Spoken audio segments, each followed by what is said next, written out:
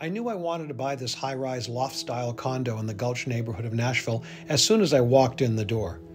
The furnishings and layout worked well for the current owners, but I immediately began redesigning the space in my mind.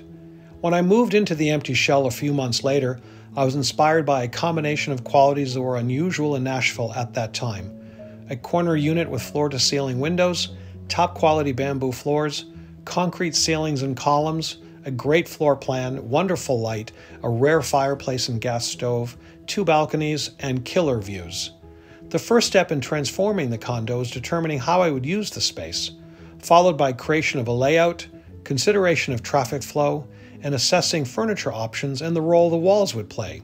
For example, I did not want my TV placed above the mantel because I like my living room to be a sanctuary for music, reading, relaxation, and conversation.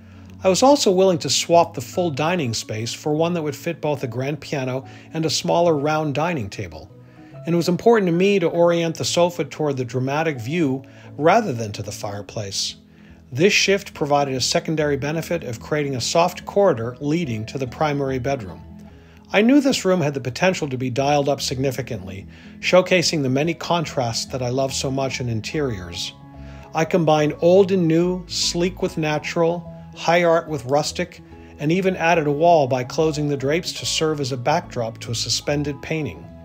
Custom made steel nightstands, a headboard made from restored pine doors, and a dramatic cut paper series spotlighted by custom uplights all contribute to the eclectic, curated feel.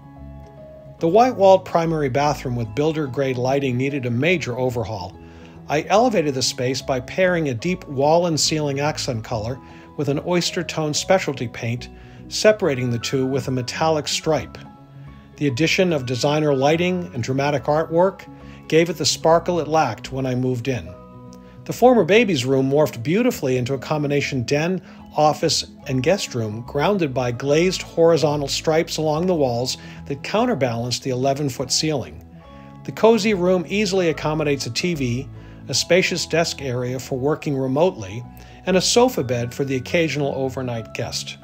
And because of its compact size, the room is an ideal showcase for a number of unusual artworks and a variety of media. This condo transformation evolved over a period of a few years. The core elements were determined early on as part of the overall plan, but many of the finishing touches, things like fine art, sculpture, and decorative pieces, and specialty lighting, were added along a more informal timeline. Stay connected to see more videos of what I did specifically to transform each space. Follow or subscribe at Design Marquis, and thanks for watching.